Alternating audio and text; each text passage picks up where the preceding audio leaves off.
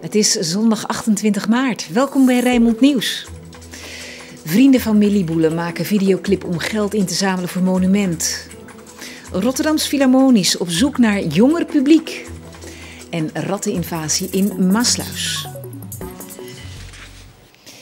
Familie en vrienden van de 12-jarige Millie hebben als eerbetoon aan het vermoorde Dordtse meisje een liedje en een videoclip gemaakt. Het nummer is een initiatief van haar zus Tibby. De videoclip is sinds gisteren op YouTube te zien en is nu al bijna 100.000 keer bekeken.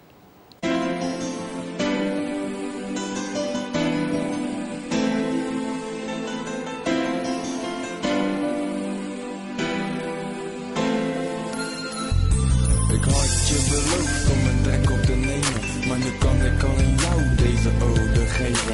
Ik ben in gedachten, je hebt een plek in mijn hart, maar het is niet te bevatten, mijn gevoelens te apart. Voor de nabestaanden van de vermoorde Millie Boele is het nog steeds moeilijk te bevatten dat het 12-jarige meisje ineens uit hun leven gerukt is. Tibby, de zus van Millie, had nog voor de uitvaart al contact gezocht met de muzikant Two Face om te vragen of hij mee wilde werken aan een lied over Millie. Het is eh, echt gemaakt met een boodschap naar Millie toe. Dan zeg maar, mensen wilden zich uiten, vrienden wilden zich uiten, familie wilde zich uiten. En eh, ja, dat, is, dat is eigenlijk de basis van, van, van heel het nummer. Oorspronkelijk zou het nummer alleen voor de familie en vrienden zijn, maar nadat het op YouTube is gezet, heeft het al heel wat bezoekers getrokken. Ook heeft het nummer al wat geld opgebracht dat de familie gaat gebruiken voor een monument of een grafsteen. We hebben het zodanig dus ook op YouTube gezet. alleen we hadden niet verwacht dat het, eh, ja, dat het zeg maar ja, zo'n hit zou zijn in principe. Want er wordt veel geluisterd, wordt ernaar. Dus. Je hebt je plekje engelen, houden de wacht en we blijven aan je denken, lieve familie, rust zacht. Hoe gaat het op dit moment met de familie? Ehm, ik heb de vader en moeder heb ik, eh, niet gesproken, Pascal wel en Tibby ook. Het is duidelijk te merken aan hen dat ze gewoon door een hel gaan. Het is heel moeilijk voor ze.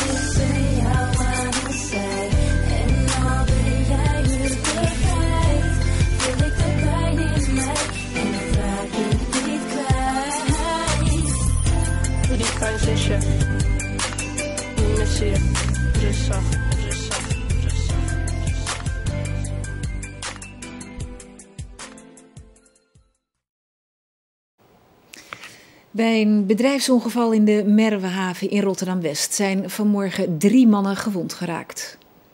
De slachtoffers zaten samen in een reddingsbootje van het schip de Baltic Amber.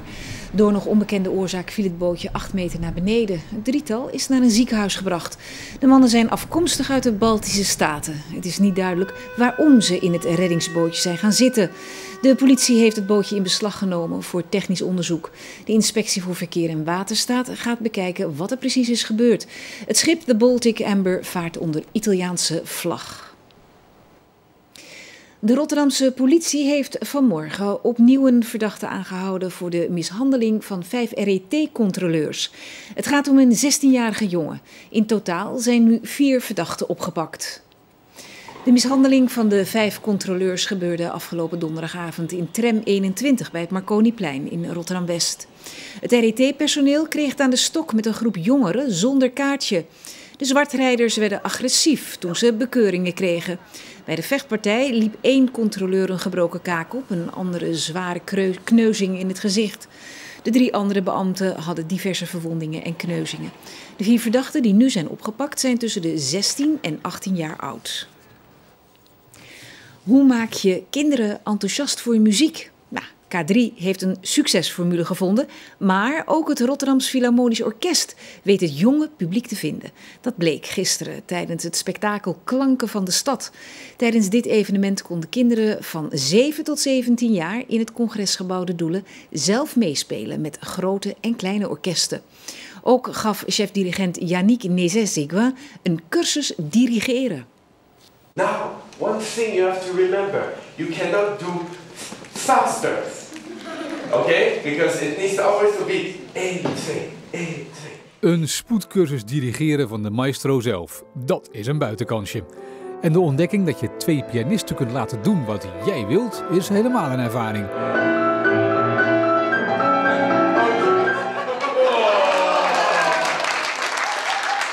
Ik vond het gewoon heel erg leuk. Nou, ik speel ook zelf gitaar, dus dan eh, kan ik het ritme een beetje eh, houden. En gaat het dan een beetje vanzelf zo met je armen en je handen? Eh, niet precies. Ik denk eerst na over wat ik doe en dan doe ik het pas. Ik vond het best wel leuk.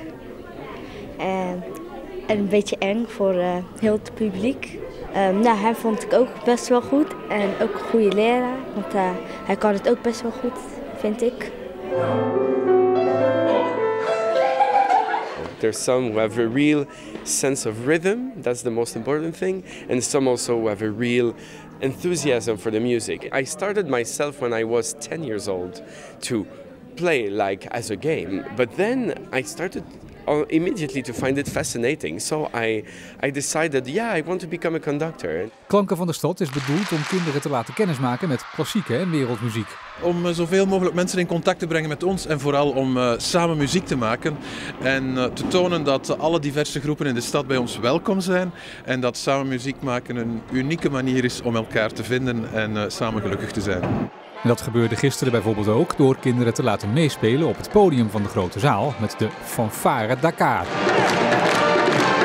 De beste trommelaars kregen een prijs en daar waren ze dolblij mee. Elders gaf het Rotterdams Jeugdsymfonieorkest een openbare repetitie en konden kinderen zelf instrumenten uitproberen. De dag werd afgesloten met een spetterend feest. Iets geheel anders. Een paar honderd ratten kwamen gisteren met hun verzorgers naar Maasluis voor het grootste rattenevenement van Nederland. Op de door de Internationale Rattenfokkers en Fanclub georganiseerde dag konden eigenaren hun ratten laten keuren door gediplomeerde keurmeesters. En dan blijkt dat er heel wat rattengekken rondlopen. Want wie een rat heeft, die kan er maar niet over uit hoe intelligent en sociaal die diertjes wel niet zijn. Geen Hells Angels, punkers of gothics op dit rattenevenement in uitgaanscentrum De Koningshof in Maasluis. Maar hele gewone mensen die gek zijn met hun rat. Jong en oud, maar wel opvallend veel vrouwen. Misschien omdat zo'n rat toch wel een hoog knuffelgehalte heeft. Want eng? Wel nee, tamme ratten doen helemaal niks. Zijn dat nou jullie eh, favoriete huisdieren? Ja, bij mij wel, maar zij heeft cavia's. Ja, ik vind cavia's wel leuk, maar ik vind ratten ook hele lief dieren wel. Veel kinderen en volwassenen vinden ze juist eng. Nou, ik vind ze helemaal niet eng. Het is super schattig. Mevrouw, u knuffelt ze mee alsof het uw grote liefde is. Ja, absoluut. Dat zijn mijn kinderen. Ze gaan zelf voor mijn eigen man, de ratten. Ze zijn leuker dan cavia's of hamsters of konijntjes. Dus. Waarom? Ehm, een rat is een stuk drukker.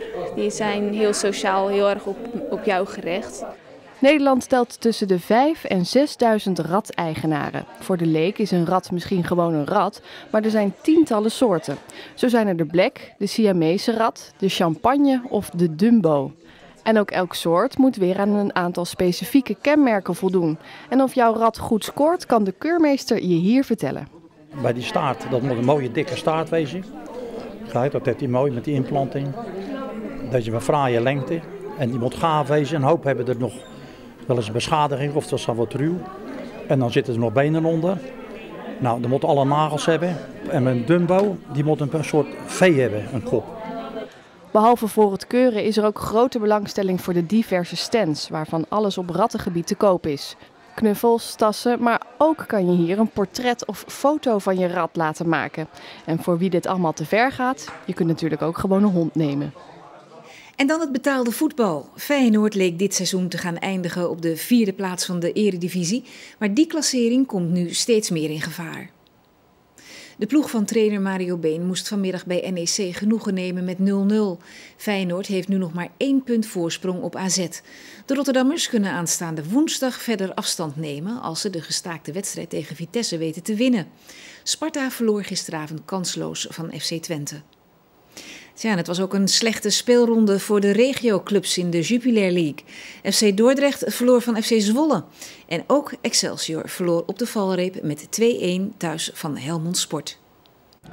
De Brabanders komen op voorsprong op Woudenstein. Oud-Excelsior-spits Voskamp legt breed. Huscher scoort en zet Helmond Sport zo al in de wedstrijd op een 1-0 voorsprong.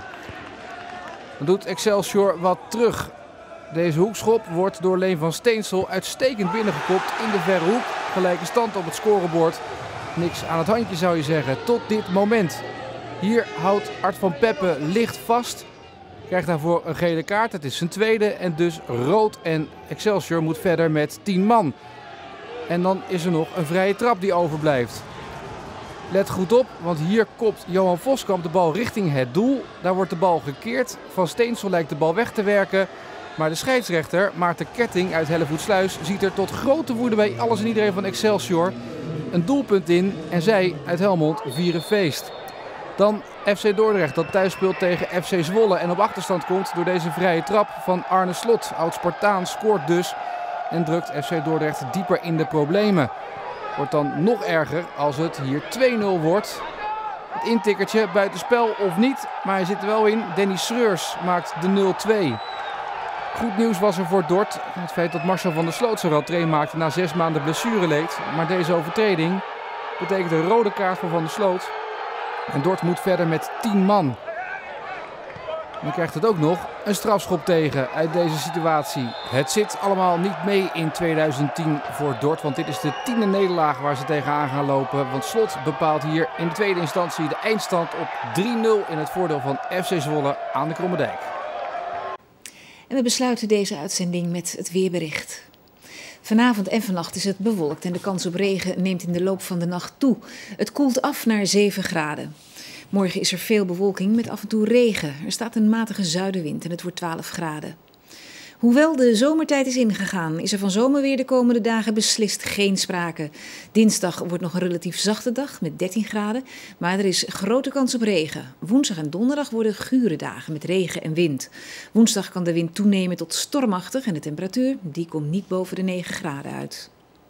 En dit was Rijnmond Nieuws van zondag 28 maart. Meer nieuws vindt u op rijnmond.nl. Ik wens u verder nog een hele mooie dag en graag